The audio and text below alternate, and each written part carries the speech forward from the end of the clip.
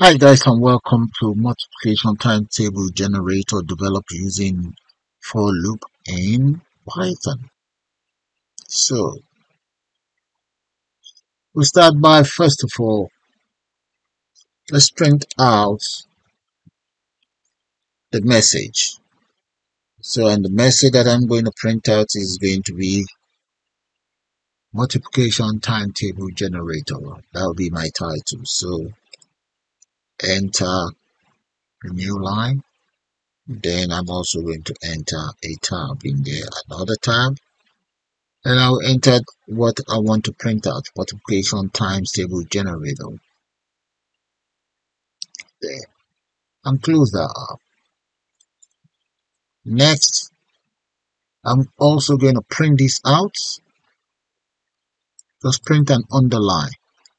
So come right down here just paste that in there get rid of this new line. And here I will add a speech mark here to close that up. Then I will add a plus sign to get it concatenated and speech mark underscore. Close that. Then multiply that as a link. And that is going to be the following value. Okay close that up come right to the end here and just add another plus sign.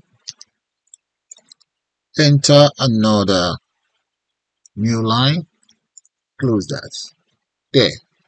That is that done. Next i'm going to use a for loop. So i would say for let's say q in the range of 1 to 13 enter a column there. And I'm going to create another for loop again. This one is to generate a vertical number 1 to 12 and the next one will generate an horizontal number. So I'm going to call this one K. Alright since that is taken care of I will come down here and I want to print out whatever I have in my loop. So let's start by entering parentheses and in here I'm just going to say F. What the F will do is F will actually format whatever data I have in here and convert it to a string character. Okay, so now let's take care of the data.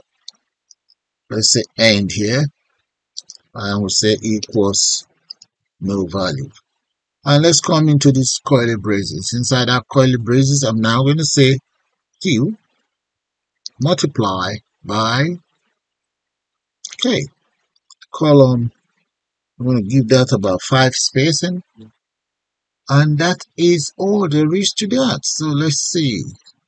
Q multiply that by k. Give me five spacing in between. All right um close that up comma there we go then. Come right down here and just enter print with the parentheses there we go. So i'm going to now save it let's save that come in here file save us and let's just give that a name loop multiplication. So i'll just call it loop month underscore pause. There save. Now let's run it. Go right here click on run.